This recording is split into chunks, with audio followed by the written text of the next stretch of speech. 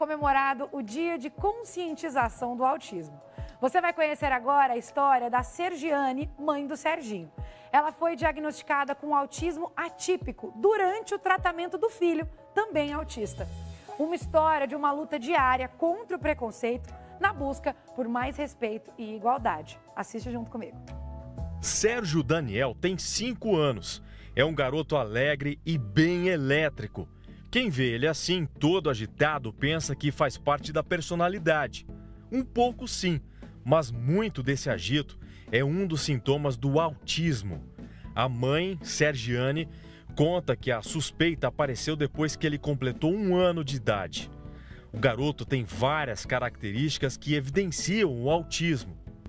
A estereotipia, colalia, que são estereotipias se movimentar de forma diferente, colalia é você fazer sons, ele se movimenta ao redor do corpo, fazer giros. Isso foi diagnosticado bem antes. Sergiane revela que também tinha características que indicavam o autismo durante a infância dela. Mas no contexto da época, nada foi identificado. Depois que o filho começou a fazer tratamento, é que ela também foi diagnosticada com autismo. Primeiro foi ele, com um ano e quatro, ele teve a suspeita de, do autismo. Aí teve uma intervenção com ele, com dois anos e três meses, ele teve diagnóstico fechado. E aí, é, depois, aí, quando foi ano passado, eu tive meu diagnóstico fechado do transtorno de espectro autista. O autismo é conhecido pelos especialistas há muito tempo, mas só de uns anos para cá é que começou a ser compreendido com mais precisão. Mãe e filho são de Minas Gerais. Por indicação médica, o tratamento foi direcionado para Londrina. Ela diz que, de maneira geral, a sociedade ainda não está pronta para lidar com uma pessoa autista. Falta um neurologista para dar o diagnóstico para as pessoas que precisam, né, aquela primeira análise clínica. E aí falta também, por exemplo, nos ônibus que eu pego muito, é, não tem adesivo da, da, deficiência oculta nos ônibus, então a conscientização dos motoristas. O autista, ele é sensorial, muito sensorial. O que, que é isso? Ser sensorial é ver demais, escutar demais, sentir demais, paladar. Os cinco sentidos são aguçados. Muitas das vezes eu, eu tenho que usar o fone, porque senão eu tenho vertigem e caio na rua. Eu, eu não posso rodar roleta, porque a pressão da roleta me faz ter vertigem e eu posso ficar tonta no ônibus e cair. Então são coisas que ser autista atípica não é fácil. Tá aí, gente. Você conheceu o desafio de uma mãe ao vivenciar duas experiências com o autismo, a do filho e a dela mesma. Mesmo com tanto avanço na ciência, ainda existe muitos mitos em torno desta condição, não só neurológica, quanto social também. A autoridade nesse assunto hoje é o psicólogo Michael Almeida, que lida diretamente com esse tipo de paciente. Michael, primeiramente, bom dia para você, seja bem-vindo ao Eu Destaque. agradeço muito o convite. Obrigada pela participação. A gente está aí no Dia Mundial da Conscientização do Autismo, agora dia 2, né? Exato. E esse... O que é o autismo, afinal? Conta pra gente. É, na verdade, hoje a gente chama de transtorno do espectro autista. Uhum. Essas crianças, essas pessoas podem ter muitos atrasos, principalmente na comunicação uhum. e na interação social. Uhum. A comunicação ela pode impactar a interação social. Imagina, a gente está aqui, uhum. né, conseguindo falar, conseguindo se comunicar. Se eu não tenho essa habilidade, eu vou ter uma dificuldade enorme de interagir socialmente. Uhum. E essas pessoas podem ter também padrões de interesses uhum. restritos, fixos, repetitivos. O que, que é isso?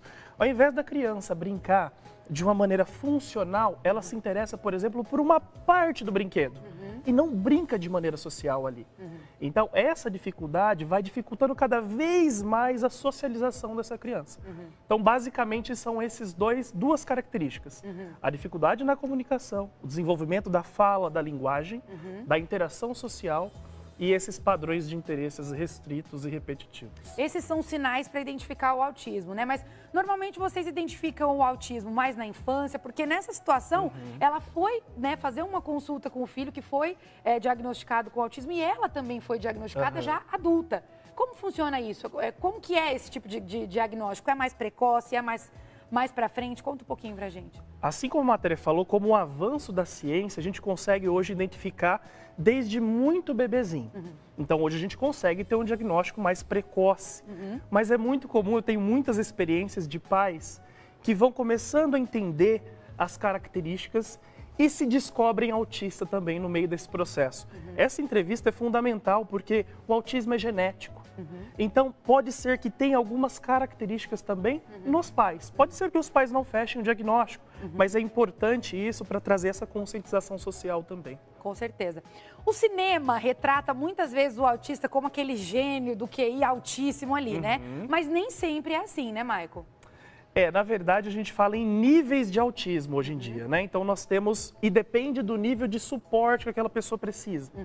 Uhum. Então, a gente tem nível 3, nível 2 nível 1. Antes a gente falava grave, uhum. moderado e leve. Não é a nomenclatura correta. Uhum. Então, normalmente, esses gênios que eles retratam podem ser, sim, parte da característica do autismo. Uhum. Seria mais autismo nível 1 Assim como a gente tem hoje pessoas como, por exemplo, o Elon Musk, uhum. uma das pessoas mais conhecidas e um bom empreendedor Exato. e que tem esse diagnóstico de autismo nível 1. Ele fala claramente sobre isso. Mas temos aquelas pessoas que precisam de muito suporte, uhum. que seriam os níveis 3, uhum. né? Precisa de é, suporte na comunicação, uhum. suporte em atividades de vida diária. E são a grande maioria das pessoas nível 3 e nível 2 em autismo, se não tiver um bom tratamento, um bom diagnóstico inicialmente. E como lidar com preconceito em relação ao autismo? Porque existe muito isso ainda né, na nossa sociedade, tanto as famílias quanto a nossa sociedade como um todo, né? Como lidar com isso? Eu acho que primeiro a gente tem que ter esse espaço como a gente vem tendo, né? Uhum. É, quando eu comecei a trabalhar, não se tinha esse espaço. Uhum. Né? Então, fazer uma conscientização, levar mais informação para menos preconceito. Uhum. Né? A primeira coisa é essa conscientização, ganhar mais informação. Mas só conscientização, como no próprio nome diz, é conscientiza ação.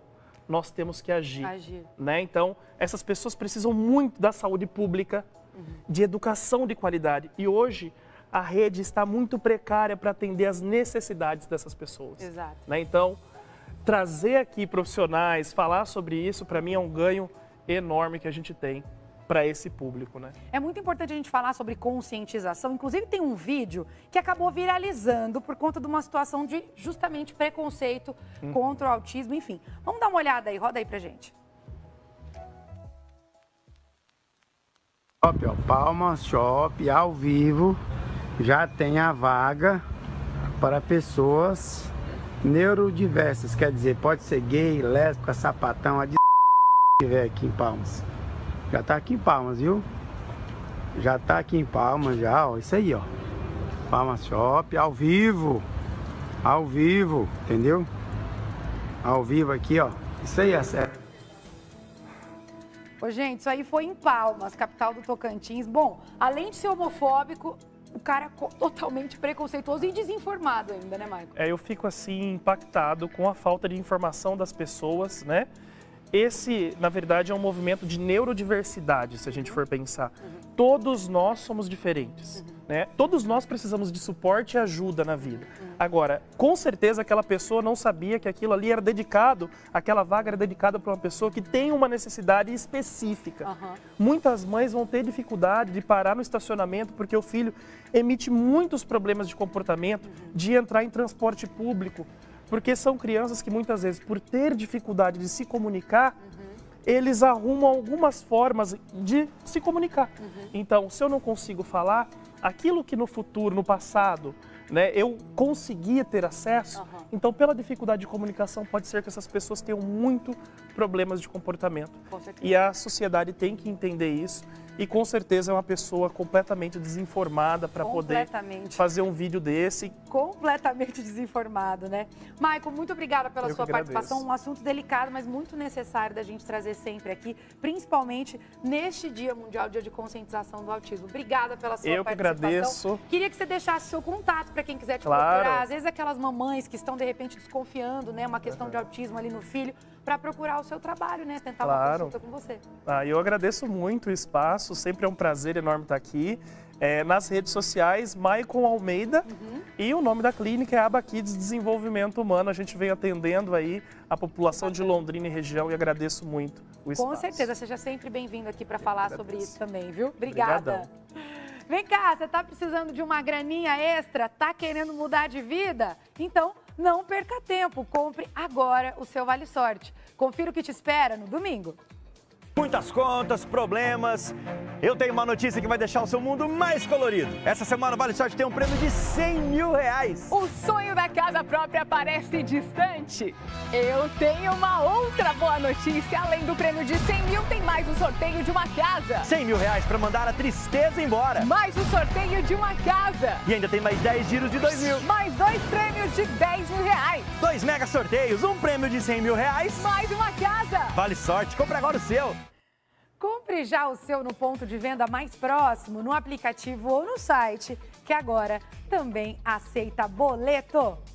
Gente, bora pro intervalo rapidinho, com fotos, ó, intervalo curtinho dessa vez, tá? Com fotos da galera aqui no WhatsApp. Continuem mandando as mensagens de vocês por lá e já eu volto, hein? Não sai daí não.